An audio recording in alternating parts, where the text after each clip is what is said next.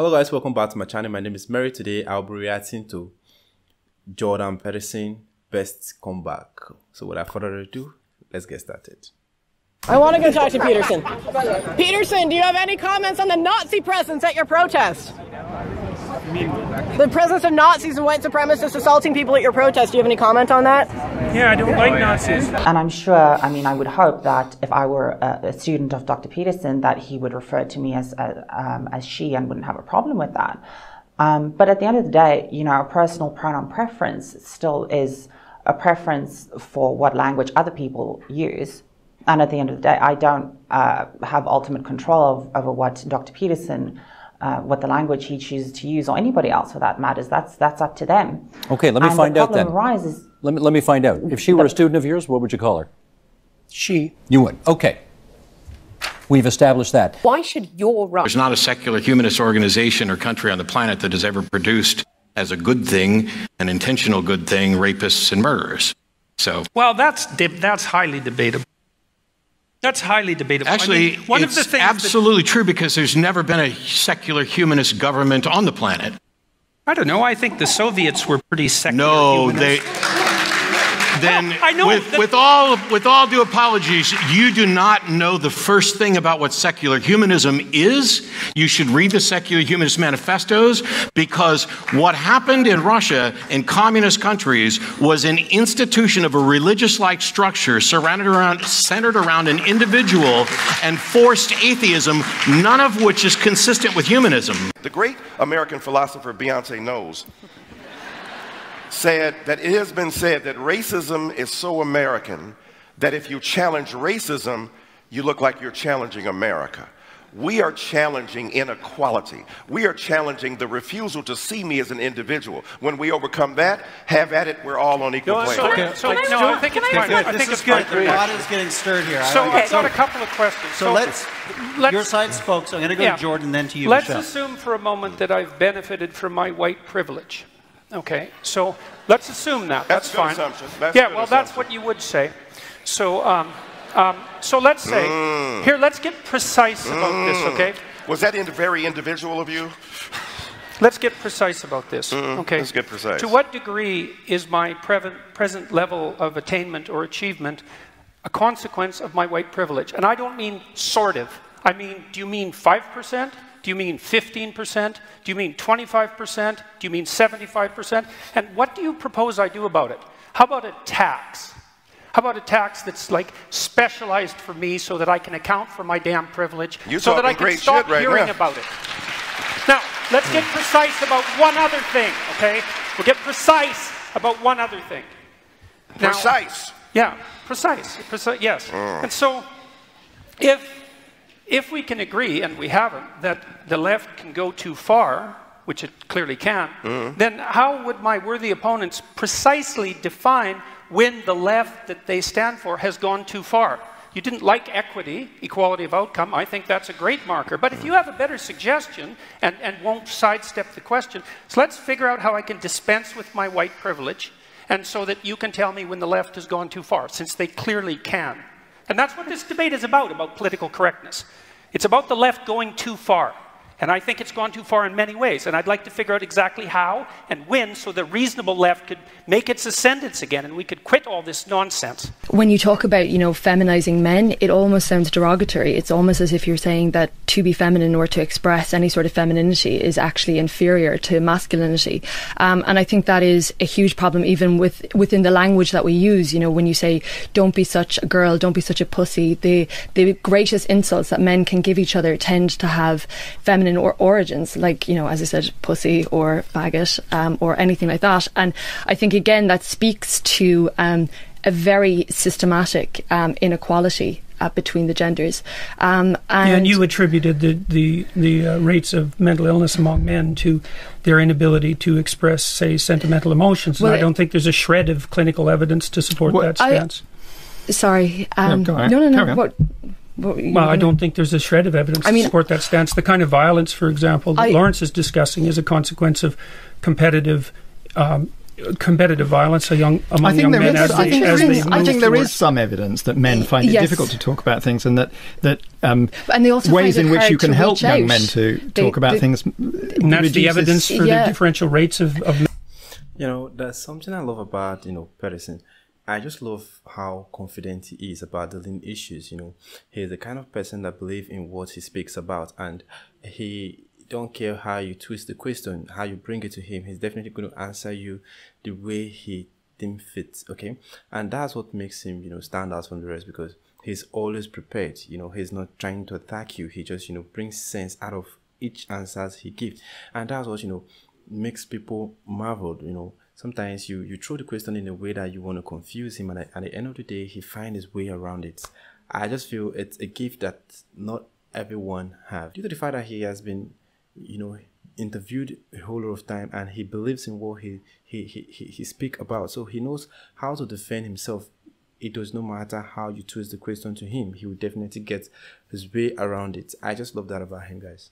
Mental health and I suffering. also, don't I, you think know, so. I also don't think I, um, when you're talking about things being so innate, um, uh, you know, I mean, Judith Butler would have said that you know, gender is a construct, that gender is a performance. Mhm. Um, well, and Judith if you Butler look- doesn't know what she's talking about in the least, so Well, I don't accept I mean, that. that's as a- a- interesting, but I, I, She's I, no I agree scientist, with she her. doesn't know the well, then if you look at psychological someone like literature. Cordelia, And this is all under the influence, you say, of postmodernism and Neo-Marxism. neo-Marxism. Yeah, but well- aren't those things two separate things? They're completely separate. Hmm. You know, and this is something I've been criticized for. Dr. Peterson doesn't understand the difference between neo-Marxism and and and postmodernism. It's like I understand the difference perfectly well. It isn't me that's conflating them. It turns out that the people who push postmodern doctrines in the university almost al- always ally themselves with a Marxist viewpoint. Mm-hmm. And that is logically incoherent.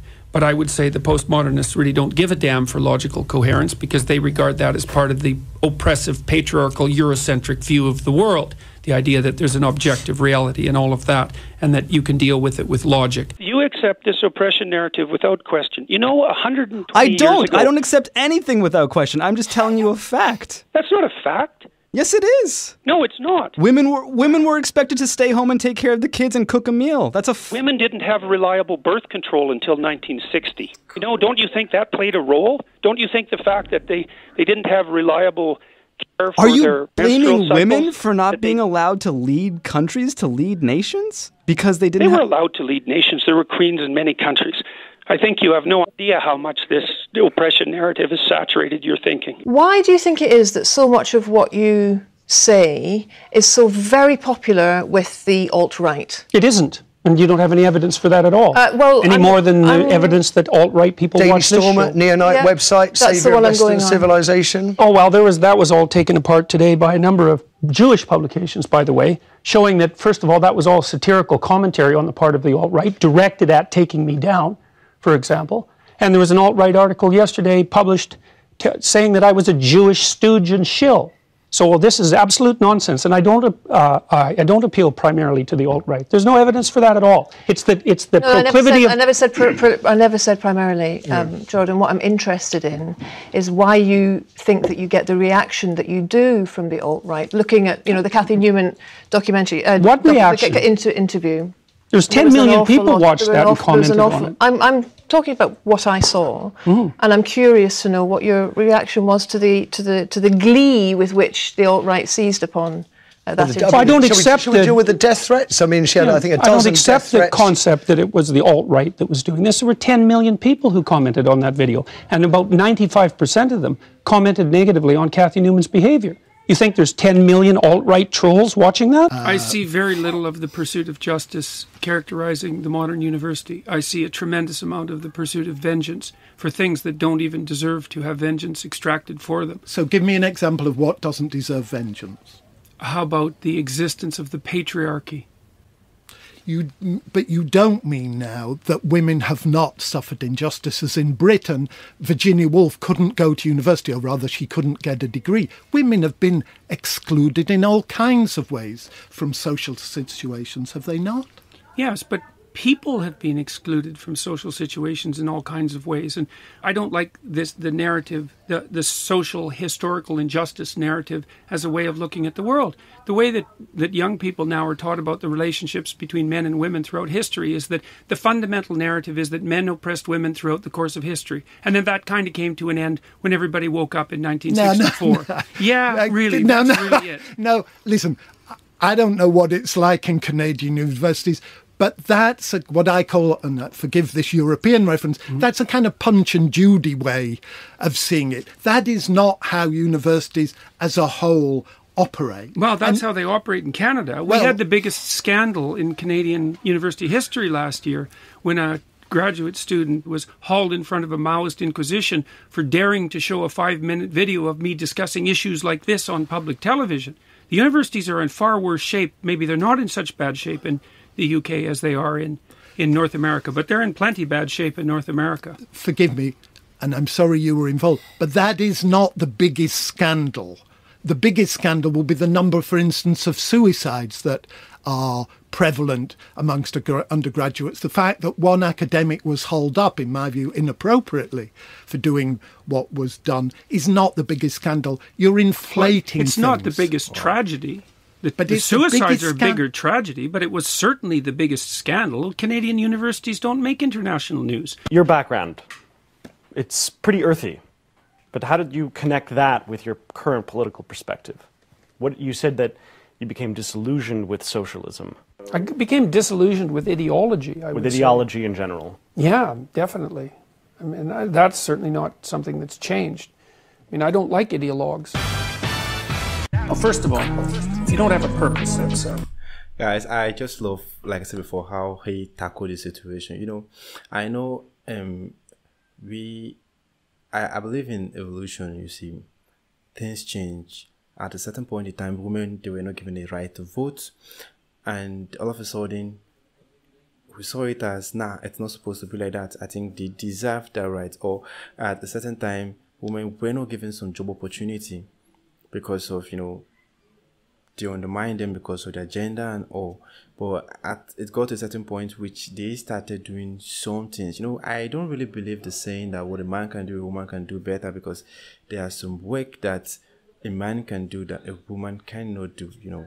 And there are some work that a woman can do that men even if they try to do it to get frustrated because you know women are very very patient individual. They can you know be very patient to make sure things are being done. And some group of men we are not that patient. We want something to be done instantly. And so there we are just two different people. We are not supposed to be competing for roles or you know or, or kind of work to do. We just need to just be us you know do what you know how to do best. I don't believe this gender is more superior than this gender. The thing is we are all superior in our own way depending on how we say things you know. It that's that's just my take in it